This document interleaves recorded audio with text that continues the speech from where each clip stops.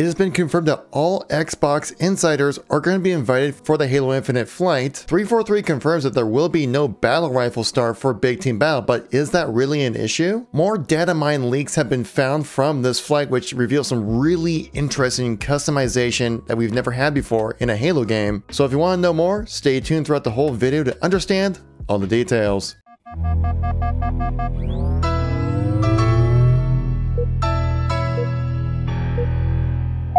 Well, the flight has come and gone for us guys, and the Halo community as a whole has just been injecting straight copium right until Thursday when the flight opens back up that evening. We have some new information about the flight as well as next coming weekend as well, as I wanted to cover that in this video for you guys. So if you like these news and informational videos, make sure to tap that like button as it really does help out the video and channel get a better place within the algorithm of YouTube. If you want to stay up to date with everything going on with Halo as a ramp up to the release of Halo Infinite, make sure to tap subscribe. So let's get right into the content here. So we know that the flight this weekend will be BTB focused and they're going to need a lot of people to participate and it looks like right here 343 and Xbox are kind of doubling down on that saying right here from this tweet from the Xbox Insider official page here, saying reporting all Spartans, all Xbox insiders on Xbox are invited to join weekend two of the Halo Infinite Tech preview. So if you didn't get involved with this last weekend, guys, if you're playing on Xbox, just go download the Insider Hub right there on your Xbox and you'll get invited to play Halo Infinite. And it looks like you can download the game right now on your Xbox, saying all Spartans want to join this weekend's Halo Infinite multiplayer tech preview, you can download the build via the Xbox Insider Hub starting right now. Halo Insider or not, you can join on the action. But remember everybody, the flight will actually technically be live on September 30th that evening, where you'll be able to do weapon drills and training mode as well. Training mode has turned out to be a ton of fun. It's actually been a really great location to try to test out different sensitivities, learn some new mechanics, test out different jumps and things like that.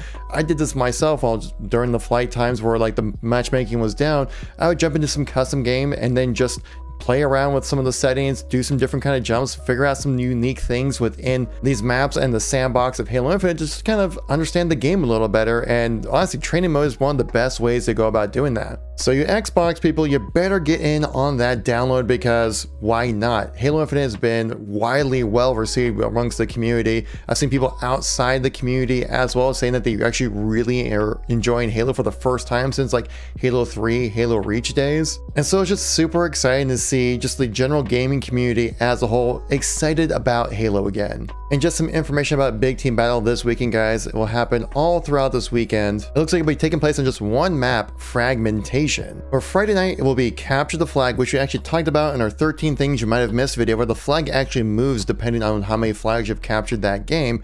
On Saturday, they'll be adding in the new game mode Total Control, which we did see some people kind of hack into custom games and play around with that a little bit. Of course, once we get the chance to play it on Saturday, I'll have a better idea of exactly how it plays out, but it does look really exciting. Then on Sunday, the final day, they'll be adding in Slayer on Fragmentation, so that day you'll have Capture the Flag, Total Control, and Slayer to play around with. The same time frames we had for the 4v4 weekend, thus last weekend for BTB as well. But also keep in mind, guys, that 4v4 is also happening next weekend as well. So if you don't want to play BTB, you want to play some 4v4 Arena, this will be available for you as well. I'm assuming pretty much the same thing that we had on Sunday with like Bazaar, Behemoth, Livefire, and Recharge with all the different game modes available.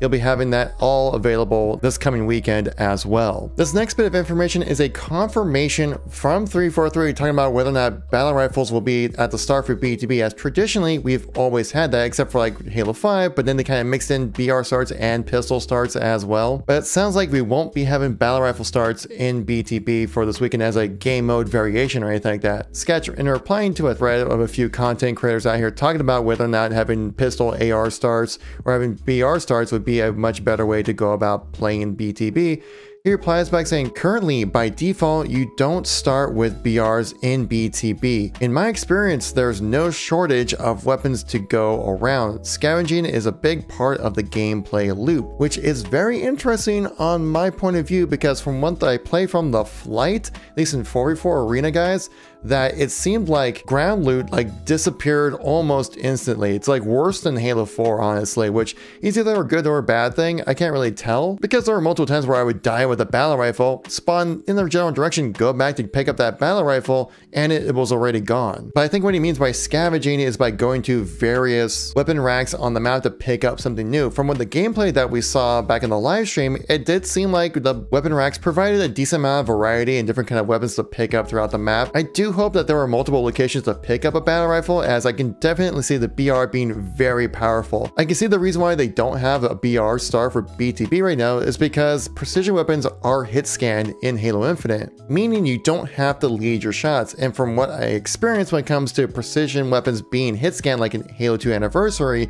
playing BTB in there, it's quite difficult to actually move around through the map and actually like pick up weapons, pick up map control because like somebody across the map could just laser you with a battle rifle, not necessarily kill you, but just pepper you enough to where it wouldn't be very advantageous to go to various locations on the map. I mean, think of the difference of playing Blood Gulch on CE, where playing Blood Gulch on H2A plays completely different. And that's one because a bullet spread with the Magnum and also projectile. Like imagine having hit scan weapons on Valhalla. Well, Actually, you can with Ragnarok, and I don't really like how Ragnarok plays because of the hit scan weapons. It makes it very campy, tough to move around. So this is very important why we flight, guys, so we have a chance to jump in, play with AR, sidekick starts, and see how that actually works for BTB. So I think this weekend is gonna be very important to voice your opinions after playing, obviously, on like Twitter, Reddit, and various other locations like Halo Waypoint.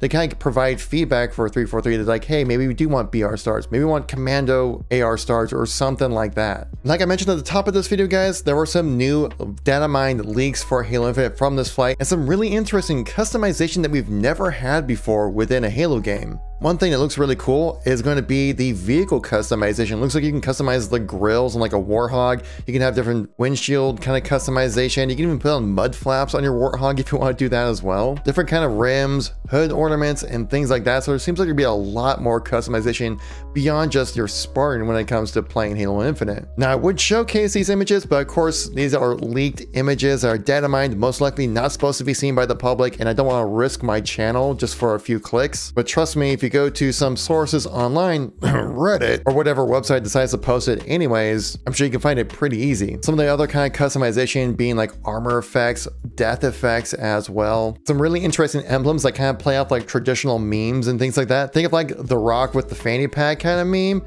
yeah, that's an emblem. One thing that got me really excited were some of the HCS Pro partner team emblems and also some of the coatings that were there. Dude, the coatings for these partner teams honestly look really sick. They're not like overdone, obnoxious or anything like that. They actually look really cool. I can honestly see people rocking these coatings even if they're not fans of HCS and competitive Halo because they look so cool. Some weapon charms were leaked as well. Some of them are pretty great, even mentioning some old school type of memes within the community as well. And also just badass looking ones and funny ones as well for weapon charms you can add on. We do know that weapon charms are going to be a thing. You can pick them up through promotions and it looks like also maybe some progression stuff maybe tied to the battle pass as well. Again, we'll just have to wait and see how that kind of customization and unlock system pans out. Also stay tuned to the channel today guys because we have an HCS announcement about the first Halo Infinite event coming for us guys. I guarantee I'll be making a video about it as soon as possible as the news does go live today. Of the time of posting this video obviously. So if you're new to the channel or missing any content from me recently, check out the videos right here. I got a playlist for all my Halo Infinite news and informational videos. Thank you so much for watching. Greatly appreciate it. And I'll catch you on the next one.